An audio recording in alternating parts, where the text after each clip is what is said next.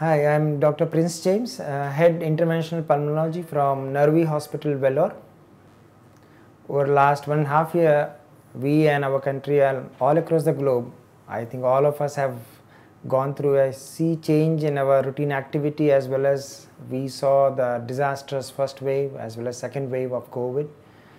And uh, it affected all the areas of our lives, including our day-to-day activity, which sleep is an important part of that.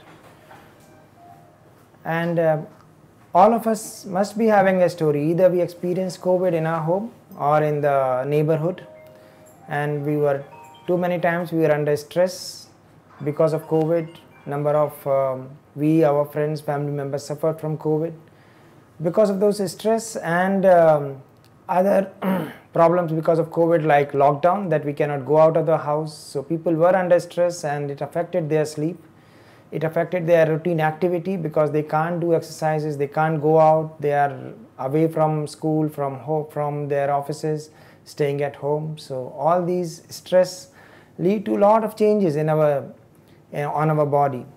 And as well as if we are under stress and not sleeping well, that also affect our body.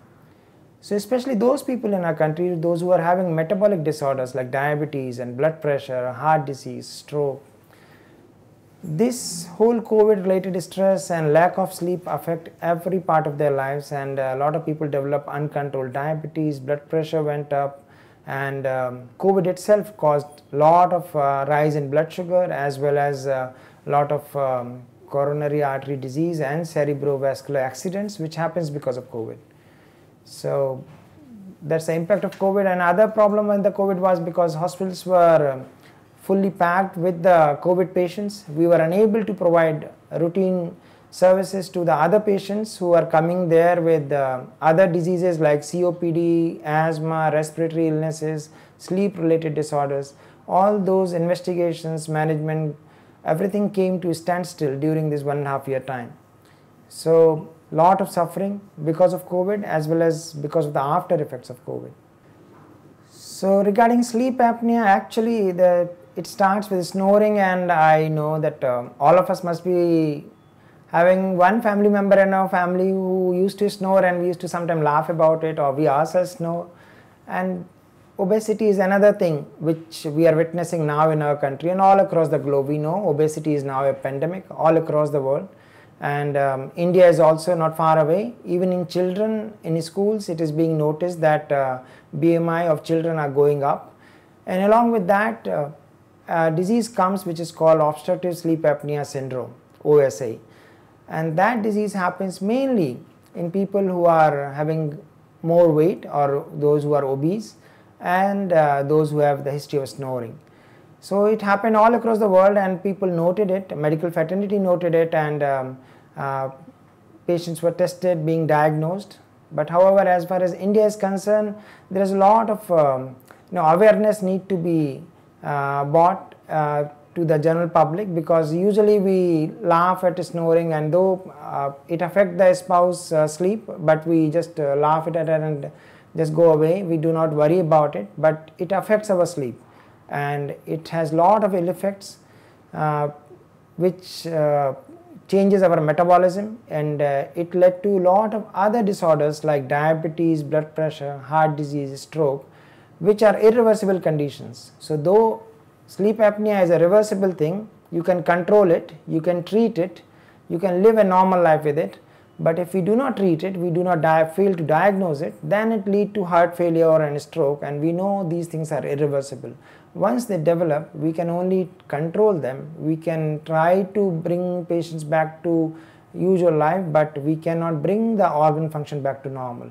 And that's the importance of uh, uh, knowing about sleep apnea and uh, its management, treatment, and a lot of awareness need to be brought into in our country regarding obesity and snoring and its effect on sleep. So regarding the uh, obstructive sleep apnea syndrome and a lot of advancement have happened over last few years.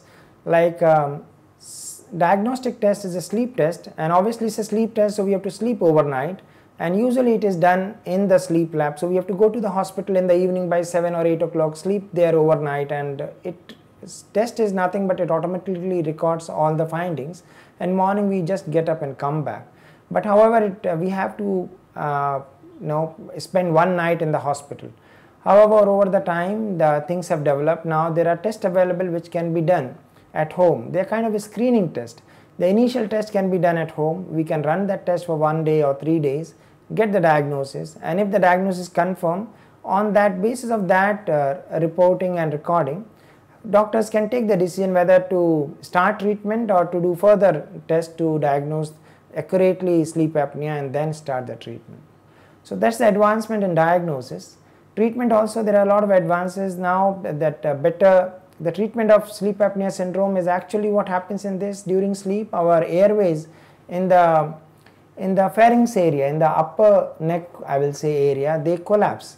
And that's why airflow stops and our oxygen saturation drops. And that has the effect on whole body because our body runs on oxygen. So the treatment is uh, a device which can push air with the pressure so that our airways remains open during sleep also.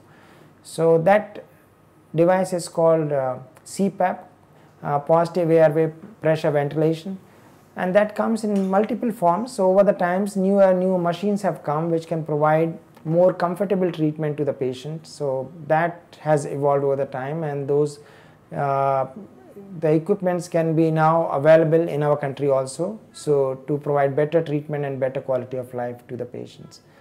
Other advancements are still going on. We are still looking for a medication which can help our patients. We do not have yet a medicine a tablet to treat this disease. Similarly there are other advancements like mandibular advancement devices. They are the devices which are put in the mouth fixed in the mouth during sleep to help patients However, still the acceptance among patients are not that great. A lot of work need to be done in that area.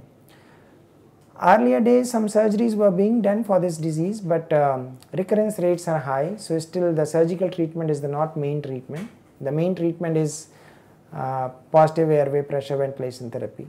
So that is the CPAP or BiPAP is the treatment for OSA at present weight loss is an important uh, part of it and we must try to lose weight because it can help us and improve our sleep apnea problem and uh, the study shows that those guys who are those patients who are using CPAP they are there is very high chance that they can lose more weight than the people who are just trying to lose weight without using CPAP therapy. So actually CPAP helps not only in improving our sleep and also reducing our weight so that we can have a better sleep and uh, sleep apnea syndrome symptoms can be brought down.